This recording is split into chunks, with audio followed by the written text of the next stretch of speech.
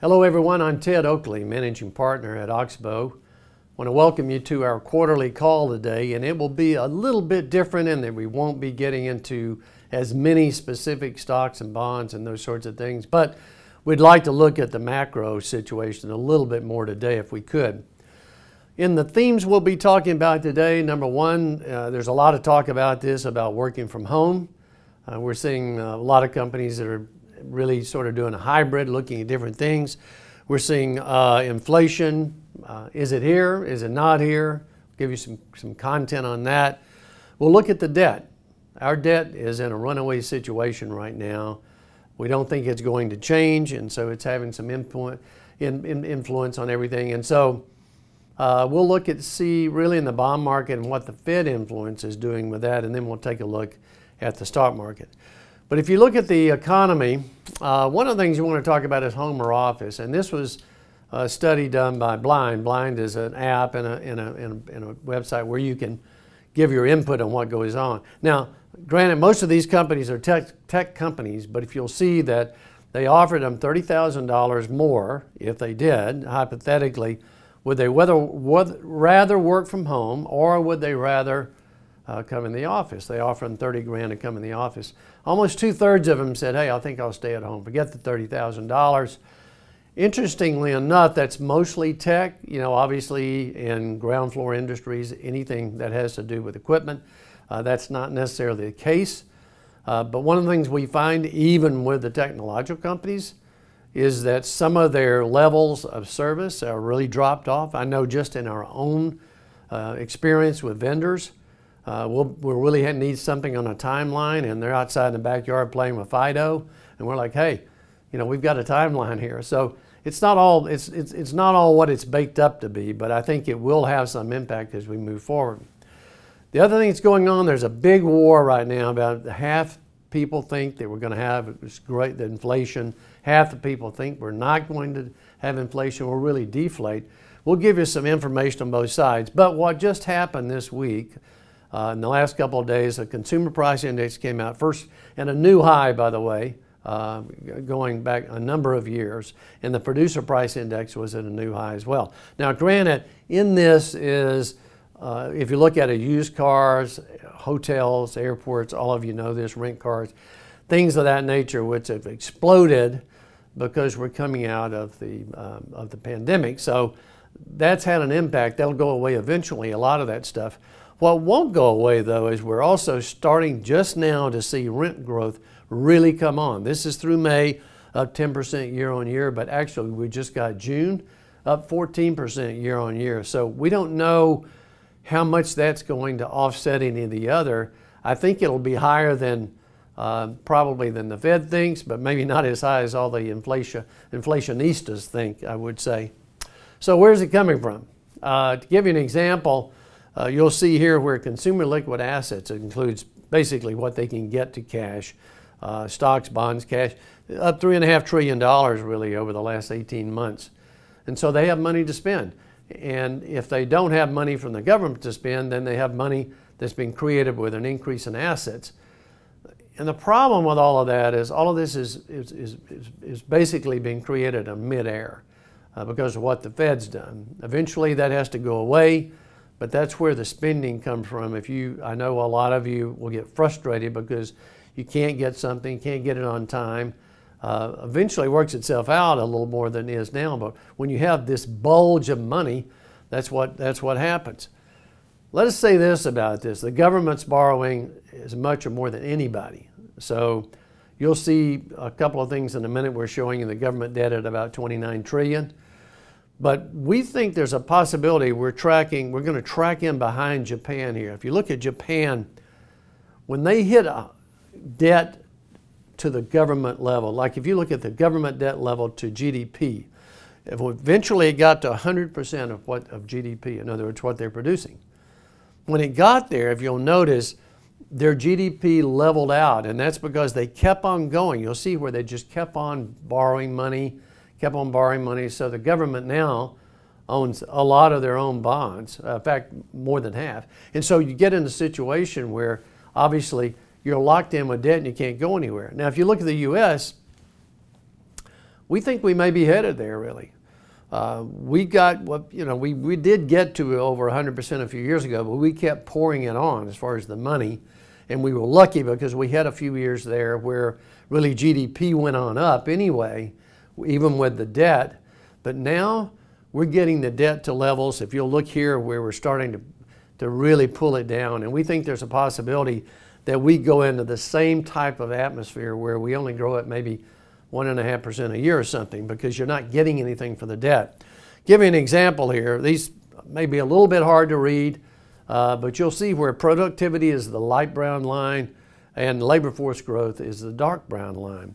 Productivity will be a big factor as far as GDP goes. These came from uh, Hedgeye and the Congressional Budget Office. And so if you look at it, what happens is we go into a period where we're only growing about 1.6 or 1.7% a year. That would do two things. One, they would tell you that stocks are discounting something that doesn't exist into the future. And secondly, you're going to have a hard time getting cash flow because things are set up this way with all this debt. Um, let's look at the bond market. I'll just give you some things that are going on. If you look at what's happened, the blue line is where interest rates are now with the U.S. Treasury. But what the treasure, what the Fed has done is they bought these bonds short term, so they kept the rates uh, low on the short end when they should probably shouldn't be, because they want to try to get the economy going more and more. We think they're, we, we really think they're in the wrong place right now. I mean, if you watch, if you watch Chairman Powell of the Fed yesterday talking to Congress, you'll realize that nobody, and I mean nobody, has a clue. They don't have a clue of what it does. They don't have a clue of how much it is. They don't have a clue of where it came from. I mean, we're in a situation that's really unfortunate for us for this, but this has all been a situation where they created out of midair. The other thing that's happening is that rates are so low that, and this is just, a, this came from a Morgan Stanley look here, but if you look, there's something we call securities-based lending. It's not in a margin account. It's where you go to a firm, give them your balance statement, balance sheet, income statement, and they loan you money on those securities. That's exploded in the last five years. I mean, if you look, it's really gone, it's up more than 120% or so. Just another form of debt, but it's collateralized by stocks and bonds.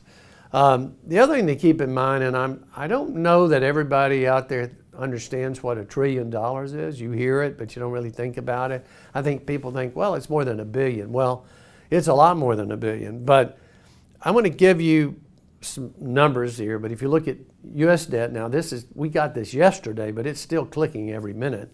U.S. debt, almost 29 trillion. Total debt in the country, 85 trillion. That's four times what we produce at 82, at 22 trillion on GDP. In a, uh, just one way to describe it is if I, if Oxbow gave you a dollar per second, Every second we give you a dollar. Okay? It would take 31,710 years for us to give you $1 trillion. Just trying to put it in perspective to you. Trillion dollars is a lot of money, and people ask us this question all the time how are we going to pay off the debt? Well, we're not going to pay it off because we have too much of it. And that's why you're going to see more and more of this thing going toward what we think will be Japan, where you just keep on pushing the money out. Uh, the other side of that is, and this is the other argument against rates going up a lot, and that's why we have to walk a, a thin line here on the investment side. If you look at the next 10 years, what it would cost for government interest, okay, at 500 billion a year, you would have, over a 10-year period, we would spend $5.1 trillion. If rates go up 1%, just one, okay, from here, over the next 10 years, we would spend $8.6 trillion. That's how much more we would spend. And if rates were to go up 2%, we would spend $11 trillion over a 10 year period just on the interest now. We're not talking about any principal. So when I say to you, we're not going to pay it off, believe me, we're not going to pay it off. Not in your lifetime unless they default on the dollar and we just say, hey, we're out of here. But that probably will never happen. Um, on the stock side, uh, one of the things that's happening, we're starting to see a move back in commodity stocks. And I did include this graph because I wanted you to see the difference in valuations between real assets. And that does include, by the way, That includes real estate, land, metals, any, any real asset, timber. Um, and if you look at that, what's going on, that relative to financial assets, stocks, bonds, etc., is off the chart cheap. And I know we've had a move in it in the last six months, and everybody's like, well, I missed the move. Well, if you look at this chart, you really didn't. You have a long way to go over the next 10 years, which would also include energy. Uh, but that's what we've been looking at. And on the energy side, okay, uh, we do own energy in one of our strategies, quite a bit of it, and in the other one a little bit. But uh, the reason for that is this. We're environment people just like everybody else. We want the good things to happen. And, and I know uh, we we do a lot of causes here at Oxbow that really push that agenda. However, why we own energy companies is, is, a business move, and that is if you look at oil companies, they put no capital expenditures into their companies or in the ground uh, over the last three or four years, and it's declining all the while, and they're getting all of this pressure from the top. I'm talking about the government, the SEC, Wall Street, saying, hey, you know, you can't do that, we don't want you to do that sort of thing. The problem with that is we still use oil and gas in so many things that go on. And so if you look at it, I'm, i actually took this off the page of Enter, Enterprise Products. That's a happens to be a gas pipeline we own, and I wanted you to see everything they produce uh, that comes from their, their products, okay? If you'll just look at this list sometime, you'll get an idea that, you know, if you, if you don't have any fossil fuels right now, we're in deep trouble. And this idea that you can convert over in the next eight years or so is really ludicrous. You, the numbers don't work. And I'm not, and, and from an investment standpoint, people have just gotten started into energy, but we really think it has a long way to go. The other thing that's happening right now is we're still seeing people pay for stocks without any idea of what they're worth. I, I would say this to you, the last 12 years has created an entire group of people on the, in the investment side, on my side, okay, that know very, very little about what they're doing. And most of those people don't have any net worth either. And what happens is it becomes sort of a plug and play kind of thing where we'll buy exchange traded funds and we'll buy anything in the marketplace. So you've gotten these extremes and that you would never have paid for these companies before. And the other thing that's going on is, and this is something that you know from experience for with us, that we're against, but we have buybacks of stocks this year so far announced is going to be at a record level. I can show you company after company where this is just financialization, pure and simple. If you take the stocks they buy back and you look at the executive compensation that they lay off, it's a wash. Shareholders got nothing. And so our contention has always been, hey, if you think it's so cheap out there, why don't you take that money that you've got excess money, or if you want to borrow it or whatever you want to do, and give it to us. Give it us in form of a dividend. Or if you do buy back stock, don't give it to your officers. But it's become a real problem, I think, in, in the things that are going on. Uh, the other thing is I mentioned to you that you have this whole group of people just buying things. This is a really good example in this chart of exchange traded funds, meaning plug and play. I'm just going to hit the button and buy this exchange traded fund and I know it will take care of everything. You know what the problem about this is, is that when you go the other way and you get selling, they also hit the button. That means everybody's selling the very same thing, and passive investing is very high level right now. But it's, it's one of those things when you have everybody in the same category, it's probably not going to work in the long run. Last thing I'll show you that really came from April 1998 on cover of Forbes magazine was that uh, talking about kids that are tormenting Wall Street again, day trading. And I can't tell you how many people told me in 1998, 99, I am day trading now. I quit my job, I make so much money.